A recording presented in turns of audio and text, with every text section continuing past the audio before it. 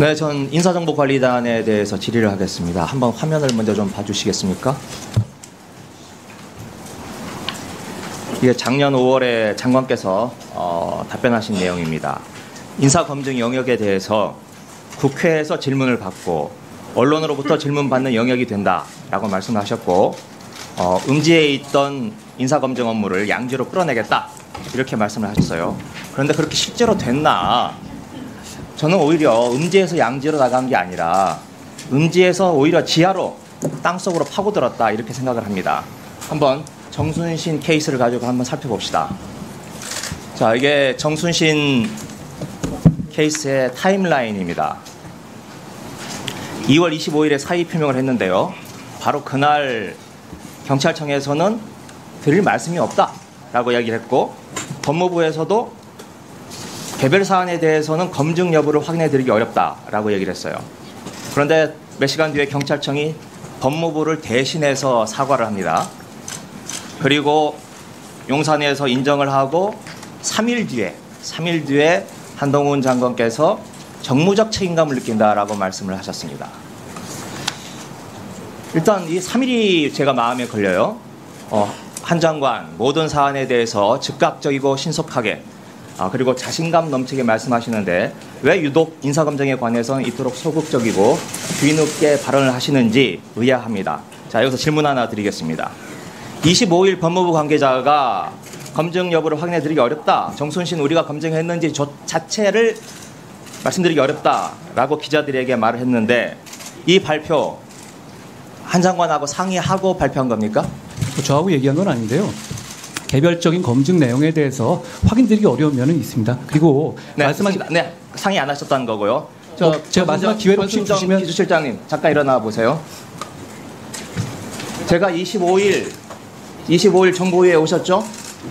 정보위에서 제가 똑같은 질문을 권순정 기조실장에게 답변을 했어요. 그때 뭐라고 하셨습니까? 네, 그러니까 통상적으로 그 대변인이 저 장관하고 그 공보 공부하는 내용에 대해서는 상의를 하기 때문에 그 부분도 상의를 했을 것으로 생각한다고 말씀드린 적이 있습니다. 네. 자, 권순정 실장은 통상적으로 장관과 상의를 한다 그랬어요. 근데 통상적인 사안이 아니었나 보죠? 위원님, 제가 지금 아까 말씀드린 거 다시 한번 해보시, 해보시겠어요? 제가 이 부분에 대해서 이걸 저의 제 허락 없이 나갔다는 걸 나중에 보지는 않았다는 취지는 아니고요. 저하고 상세한 상의를 하지 않았다는 겁니다. 저 취지에 그리고 제가 지금 말씀드렸지만 개별 사안 검증 여부에 대한 확인되기 어렵다는 입장이 제 입장이라는 것도 지금 말씀드리지 않았습니까? 뭐가 문제인가요? 네, 알겠습니다. 자, 그러니까 하여튼 상의하지 않았다. 아, 아니 아니 저 뜻이 제 뜻이기도 하다니까요. 그러니까 네, 알겠습니다. 그냥 기조가 그러, 그랬는데 25일 당일은 상의하지 않았다 이런 뜻이잖아요. 개별 발언이 나가는 과정에서 제가 뭐 하나하나를 장관이 알겠습니다. 다음, 언론에 대항하는. 하나하나 확인하진 않죠. 네, 다음으로 넘어가겠습니다. 학폭에 대해서 몰랐다라고 또 말씀을 하셨어요. 자, 이번 PT, PPT 한번 봐주실래요? 자, 이 PPT 왼쪽에 보면, 아닙니다. 오른쪽에 보면 KBS 보도가 있습니다. 아, KBS가 이렇게 대대적으로 보도를 했어요. 18년 11월입니다. 바로 그 당시 서울중앙지검의 배치표를 한번 봐주시겠습니까? 여기에 보면 한동훈 장관, 아니, 제일 왼쪽에 정순신이 인권감독관이었고, 그 당시에 대통령 윤석열, 법무부 장관 한동아, 한동훈, 법무부 차관 이노공, 그리고 지금 뒤에 계신 권순정, 또 이번 인사를 직접 담당했던 김현우, 모두 다 이 시기에 있었어요. 그런데 아무도 몰랐다는 겁니다. 어, 이런 일이. 이 많은 사람들이 모르고 정순신 혼자 언론에 대응했고 혼자 감췄다는 이야기가 되는 건데 자, 정순신 케이스를 말고 일반적으로 언론에서 저 정도로 취재가 들어오면 당연히 통상적으로 상부에 보고하고 하는 게 일반적인 법무부의 관행이고 업무 준칙 아니겠어요? 그렇지는 않고요. 그런 규칙이 있지는 않고요. 저거는 어, 이 지금 상황에서는 제가 말씀드리면 저는 당시에 제가 알지 못했는데 제가 우선 말씀드리는 것은 제가 검증을 담당하고 있는 부처의 장관으로서 굉장히 책임감을 느낀다는 말 다시, 다시 한번 드리고요.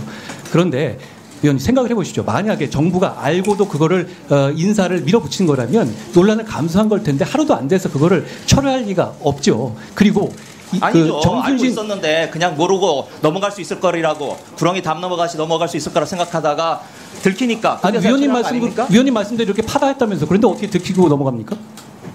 그건 어, 앞뒤가 안그 정도 판단이. 떨어진다고 그리고 볼 수 있는 거죠. 1월 18일부터 정순신 유력 보도가 나왔는데 그때부터 한 달 넘게 동안에 다른 언론에서 보도된 것도 없습니다. 파다한 사실은 아니었던 거고요. 그리고 이미 알고 있었는데 정순신이 경찰 세평- 안 됐으니까 자, 보도를 안한 거죠. 경찰 세평 조사에서도 걸러지지 않았던 것이니까 이게 확인되지 못한 것이고 제가 말씀드린 것은 이걸 제가 알았다면 그냥 넘어가지 않았을 겁니다. 저도 학폭 피해자에 대해서 굉장히 큰 문제 의식을 가지고 있고 특히 이분의 경우에 이번 일로 다시 기억이 아픔이 새고 대입해서 대단히 안타깝게 생각합니다. 알겠습니다. 그런데 자, 알지 못했다는. 부분이고 구조적인 그 문제고 앞으로 이 상황은 이렇게 송사 문제는 앞으로도 확인되기 어려운 문제가 반복될 수 있습니다. 과거의 경우에도 문재인 정부에서도 안경환 경우 그 이후 사건이 있었을 경우 다 있었지만 본인이 확인하지 마- 얘기하지 않았으니까 확인할 수 없었다 구조적 문제도 이런 입장을 여러 번 내지 않았습니까? 잘 아시다시피 자이 문제는 인사 검 증의 문제는 너무 강도를 아주 극도로 높이게 되면 사찰이라든가 개인정보의 문제가 생기게 되죠. 그리고 이걸 낮추게 되면 이런 문제가 그물이 생기게 되고 그 중간에 조화를 찾아야 되는 것인데 제도 개선 면에서 여러 가지 점을 대통령실 중심으로 준비하고 있, 습니다 그렇지만 이제 이게 어, 수사권이 없는 상황에서 어떤 영장으로 보는 게 아니라 본인의 동의와 본인의 선의에 기대서 하는 검증이기 때문에 그런 한계는 있을 수밖에 없다는 점, 어, 그거 그건 분명하다는 점을 말씀드립니다. 네. 아니, 자, 오늘 일단 한동훈 장관이 저렇게 말씀하시는데 명령을 드리고 이게 정부적 책임감 느낀다라고 발언했던 사람이 진정으로 책임감 느끼고 있는 건지 일단 이게 의심스럽고요. 두 번째로 정순신 변호사 대검 부대변인까지 했던 사람입니다. 이분이 아무 이 언론의 발행이나 대검의 부대변인 했다고요? 저는 네. 대검 부대변인 했다고 진짜요? 그것도 다 묻어가고 있잖아요. 잘못 알고 계신 것 같은데? 대 검의 부, 부대변인 했다고요? 저는 처음 보는 얘기인데요. 자, 자, 정리해 주십시오. 네, 네, 정리해 주십시오. 예, 전 모르겠습니다. 자, 정리해 주십시오. 자, 그리고 어, 자 그러면 김의겸 의원님, 예, 단락이 났습니다. 예, 단락이 났습니다. 예, 아니 단락이 났습니다. 예, 정리하십시오. 예. 답변하시기 아니고 문제점 시스템에 문제점이 있다라고 생각을 하신다면 예. 과연 그때 왜 정순신이 답변을 안 했는지 어, 그리고 그때 왜 이렇게 혼자 그 공영 방송에 보도가 될 정도인데도 경찰 업무에서 경찰 시스템에서 보도가 안 됐는지 자, 정리해 주십시오. 확인해 보시기 바라고요. 대검 부대변이 나와 있습니다. 2011년 9월입니다. 뭐 제가 모를 수도 있습니다. 부대 대검 부대변인 김의겸 의원님, 그거 아닌가요? 있는 분이 기본적인 이 법적인 결과에서 나오는 자. 그 경력을 모르고 그냥 넘어갈 수 있습니까? 자, 정리해 주십시오. 자, 장관 답변하십시오. 자, 먼저 그 말씀도 드리고 싶습니다. 제가 장관으로서 어, 이거 깊은 책임감을 느낀다는 걸 다시 한번 말씀드립니다만 장관이 인사 검증의 내용에 대해서 아니 제가 위원님을 위해서 드리는 건 아니에요. 예, 자, 드렸잖아요.